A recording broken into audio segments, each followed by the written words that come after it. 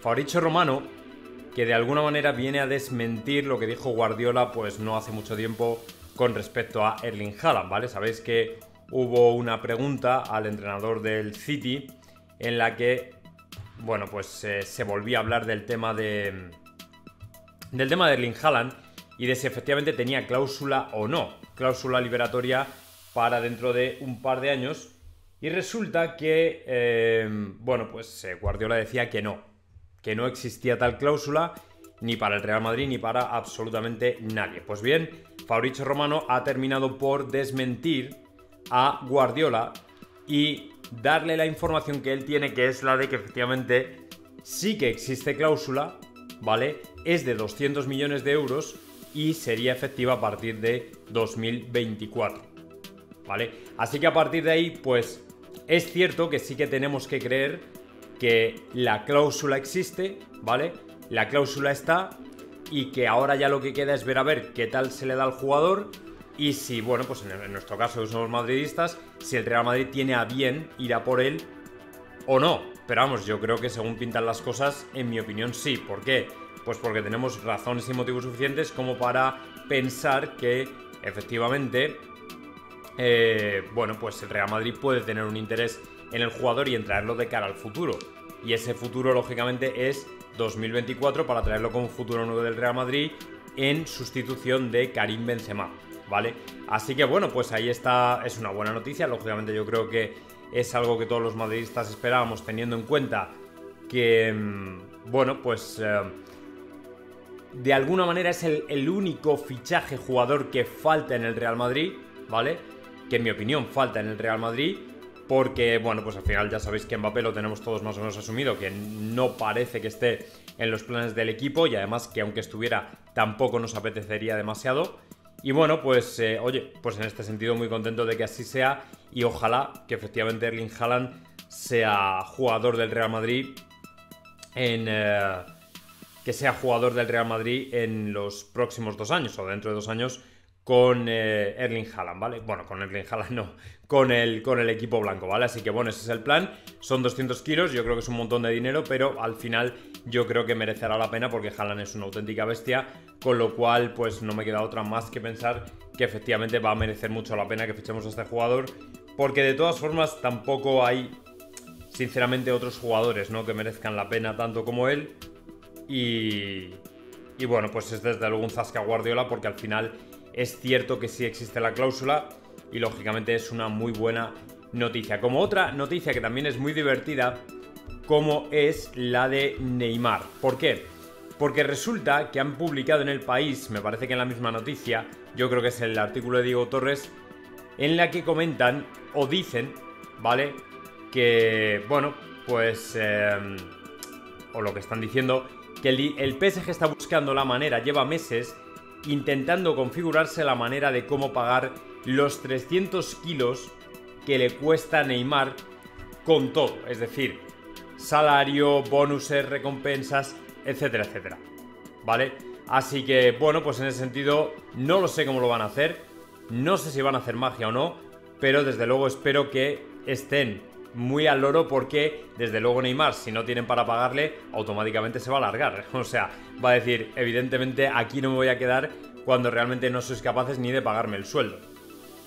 ¿Vale? Así que no sé cómo lo van a hacer, pero ahora encima le tienen que hacer frente a la renovación de Mbappé. Pero ¿sabéis por qué creo que les ha pasado esto? Porque en el fondo yo creo que ellos creían o estaban casi convencidos de que Mbappé se iba a marchar. ¿Vale? O Mbappé se iba a marchar, pero o que Neymar se iba a marchar, ¿vale? Pero que alguno de los dos no iba a estar. Entonces, claro, cuando se han encontrado a los dos, lo que ha ocurrido aquí es esto, que se ha conjuntado, digamos, ha sido la tormenta perfecta. ¿Por qué? Pues porque al final no tienen dinero para todo el mundo. O sea, no tienen dinero para, para decir, no, bueno, pues ahora sí, ahora no, eh, ahora se lo damos a este, ahora le damos al otro. Daros cuenta que por Mbappé tienen que pagar una burrada de dinero, ¿vale? Y por Neymar, pues otra burrada de dinero igual, ¿me entendéis? O sea, una otra, otra auténtica barbaridad de, dinero. Entonces, en este sentido, creo que, bueno, pues eh, me ha hecho gracia porque digo, ¿qué pasa? Ahora ya no hay pasta. A ver, pasta seguro que van a encontrar. Ya os digo yo que el Paris Saint Germain no se queda sin dinero. Pero lógicamente, claro, cuando hay tanta pasta, hombre, una cosa es que la tengan ya y otra es que la tengan a lo mejor que posponer un poco porque si no se les va a ir el presupuesto y además es que se van a saltar cualquier tipo de, de límite financiero. A mí no me jodas, o sea, es que es una cosa tremenda porque al final, si no, van vamos, yo no sé cómo estará eso ya porque al final ya no lo quieres ni analizar, pero vamos, que se tienen que estar saltando todo tipo de reglas y de, y de historias, pero bueno. A ver, Ferdinand, ¿por qué nos gusta Ferdinand? Pues ni más ni menos que porque acaba de salir Río Ferdinand a proteger, o mejor dicho, a criticar, ¿vale? El premio, el trofeo Copa que le dieron a Gaby. Básicamente lo que ha hecho Nagelsmann, lo que hizo Alfonso Davis, lo que hemos hecho nosotros, ¿vale? Con el famoso trofeo Copa de por qué se lo dieron a Gaby y no a gente como Camavinga, Jude Bellingham o Musiala, ¿vale? Con mejores números y, bueno, actuaciones más determinantes que las que tuvo Gaby en un Barça que ya solo por el hecho de estar en la Europa League, lógicamente no, no destacó. O sea, a ver, por ejemplo, Jude Bellingham con el Borussia también estuvo. Se quedó en la Europa League, ¿vale? Cayó en la Europa League, pero la actuación, las actuaciones de Bellingham son de lejos más determinantes y sus números mucho más determinantes que los de Gaby en el Barça. ¿Me entendéis? Entonces, a partir de aquí, yo de verdad que no le veo ningún sentido, ¿vale? Haberle dado el premio a un Gaby que en mi opinión no lo merecía. O sea, no lo merecía, o por lo menos no es que no lo mereciera, sino que había jugadores que en mi opinión lo merecían mucho más. Lo merecían, pero, pero bastante más que, que Gaby. Y sin embargo, claro, lo que ha dicho Ferdinand es básicamente lo mismo. ¿Vale? Gaby es un gran talento, pero no puedo ver pasando por delante de estos jugadores el año pasado. O sea, no le veo pasando por delante o siendo mejor que estos jugadores el año pasado. No tiene ningún sentido. Entonces, para mí, por eso yo valoro tanto las, las intervenciones de Ferdinand, porque siempre son muy sensatas, ¿vale? Muy sensatas y además en la línea del Real Madrid, pero no por nada, sino porque el desarrollo del Real Madrid está siendo espectacular. ¿Me entendéis? Entonces los jugadores se ven premiados por eso. Porque como el equipo va bien, pues individualmente los jugadores hay que premiarles también. Porque algo tienen que ver, evidentemente. Entonces ya cada uno lo que, lo que quiera. Pero vamos, que para mí está claro que... Para mí está claro que... Que Bellingham en este sentido se lo merecía mucho más y seguramente Camavinga también, desde luego. Si miramos y atendemos un poco a los números, desde luego. Oye, por cierto, detallazo del Elche. Fijaos que Atlético de Madrid no nos hace ni pasillo y llega el Elche, ¿vale? Y le hace esto a, a Benzema, ¿vale? A Karim Benzema. En reconocimiento a su triunfo en el Balón de Oro 2022 que le acredita como mejor jugador del mundo. En el Martínez Valero, en el primer encuentro disputado tras recibir el galardón. Una placa conmemorativa a Karim Benzema por haber ganado el Balón de Oro. Llegan los del Elche y tienen este detallazo que de verdad es de agradecer. O sea, fijaos, fijaos si no tendrían por qué no tendrían por qué hacer nada de esto, no tendrían por qué haberle regalado nada, no tendrían por qué haberle comprado nada o haber tenido un detalle con él, y sin embargo lo hicieron porque al final son un club honesto, noble y que reconoce lógicamente los méritos del rival, o en este caso de Benzema, que el otro día recibía el, el galardón, el balón de oro. O sea, yo creo que es una cosa a tener en cuenta y de verdad que es un detallazo muy, muy grande y que el madridismo yo creo que le ha llegado. ¿no? Yo creo que nos ha llegado porque al final reconocen a uno de nuestros jugadores sin necesidad. Sea, es, un detalle que les, que, les, que les honra, honestamente. Entonces yo personalmente me alegré mucho y sinceramente creo que es una... Es algo que, bueno, que nos viene bien a todos. Porque al final de alguna manera te da a entender lo, lo sanote que puede llegar a ser el fútbol cuando se trata de reconocer a... No los rivales, sino sus méritos también, ¿no? Porque si no sería todo muy aburrido. Al final cada uno mira por lo suyo y ya está, pero en este caso el Elche creo que ha tenido un gesto que le honra y lógicamente el madridismo no lo va a olvidar porque al final como nos... Bueno, con el tema del pasillo al final fue diferente porque con los otros equipos sí que nos hicieron pasillo, pero el Atlético de Madrid, vamos, se tiene que estar avergonzando porque han quedado como lo que son, ¿no? automáticamente retratados. O sea, no sé capaces ni de hacer un pasillo, imaginaos, pero bueno. Oye, vamos a hablar de un troleo que se viene a nivel mundial en redes que es el de Piqué. ¿Vale?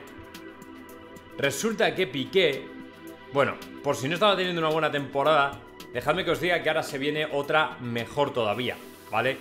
Y es que resulta que por el acuerdo que tiene el Barça con Spotify, por el acuerdo que tiene el Barça con Spotify, ahora resulta que Piqué lo mismo va a tener que llevar en la camiseta el nombre de Shakira por el último, la última canción que ha sacado, no sé qué historia, y que la tiene que llevar como patrocinio. Así que por eso le he puesto que lo mismo va a tener que bailar y que es un troleo mundial porque claro, este tipo de situaciones pues no se dan todos los días y bueno, pues en este sentido la verdad es que me hizo gracia cuando lo leí porque a principio que pensé que era una trola, ¿vale? Que no creía que, ocurriera, pero claro, igual que el otro día llevaron la, el sponsor este de Drake, pues lo mismo les toca llevar lógicamente el de Shakira y claro, ya con Shakira y Piqué en la camiseta, o sea, va, a ser desde luego el cachondeo padre en las redes.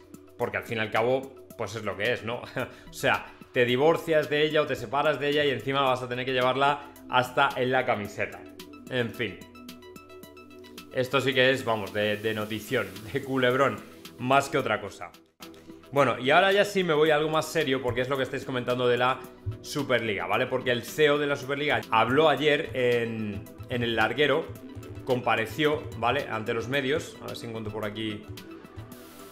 Vale, compareció ante los medios en el larguero y bueno, pues dijo algo que lógicamente, bueno, fue una, una, entrevista en la que pasó un poco por encima de todo, eh, comentó un poco por encima pues eh, por qué, cómo se va a hacer, el formato, si es abierto, si es cerrado, efectivamente es un formato abierto para que tenga haya posibilidades de entrar también a participar, las plazas fijas pues no estarán, no contarán, en fin, han hecho modificaciones y lógicamente es una buena noticia. Ya he comentado el detalle más importante y es que la UEFA se ha movido más en estas últimas 12 horas que en los anteriores 18 meses, es decir, todo el tiempo que lleva anunciada la Superliga, resulta que la UEFA solo ha estado insultando a los miembros de la Superliga, insultando a la competición y tal y cual, y ahora resulta, ¿vale?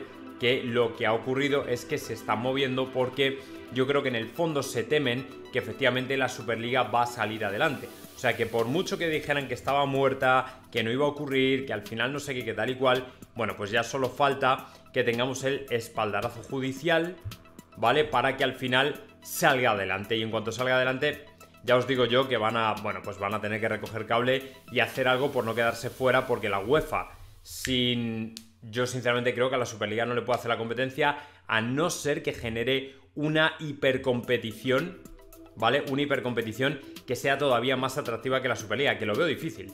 O sea, que lo veo realmente difícil. Así que ahora ya, a partir de aquí, se van a tener que escudriñar la cabeza para poder sacar algo adelante. Así que bueno, veremos a ver qué sucede y qué pasa y si al final lo, consiguen llevar adelante o no, pero desde luego la Superliga después de este tour yo personalmente creo que, que, lo van a sacar adelante, o sea que, va a salir adelante. Falta lógicamente la decisión judicial, ¿vale?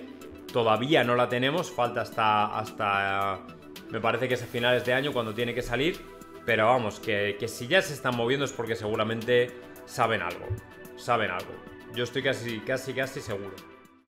Luego, importante, Xavi en la rueda de prensa, por si no habíais tenido suficiente, cuando dijo el otro día eso de que, de que no, que tal, que, que dominamos al Madrid, que jugaron a lo que nosotros quisimos y tal y cual, hoy iba diciendo que en, la, en el coche, que le dicen, que le ven y le hacen así, con un gesto de venga, vamos a por ello, o sea, alucinas, ¿vale? Un tío que está, al que le acaban de preguntar además, por si tiene asumido que a lo mejor en un momento dado la porta agarra y le dice, mira, que te vayas con la maleta.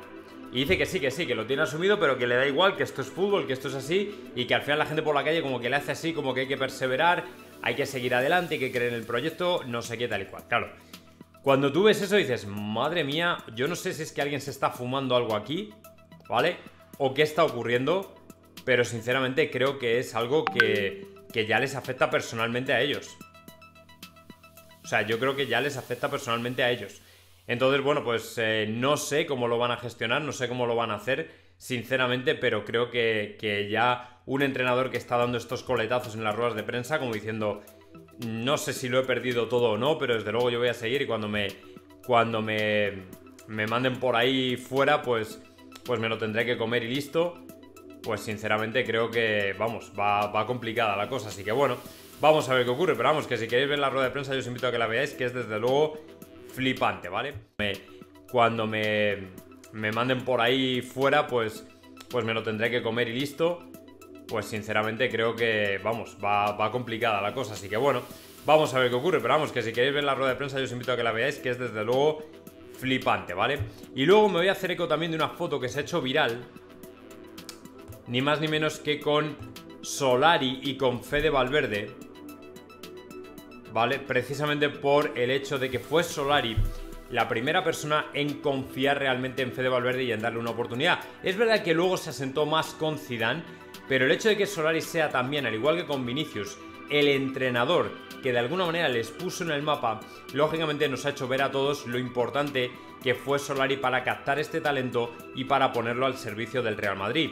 Y por eso yo creo que se ha viralizado esta foto, porque la gente ya lo está reconociendo de esa manera, en el sentido de que al final Solari ha sido una persona que en el poco tiempo que estuvo como entrenador del primer equipo dejó huella o sea, no fue un entrenador simplemente interino, dejó huella, hizo cosas importantes, supo ver el valor de un Real Madrid en transición en una época malísima en la que salíamos lógicamente de las tres Champions, de que Cristiano Ronaldo no estaba, o sea, todo ese tipo de cosas que había que ver.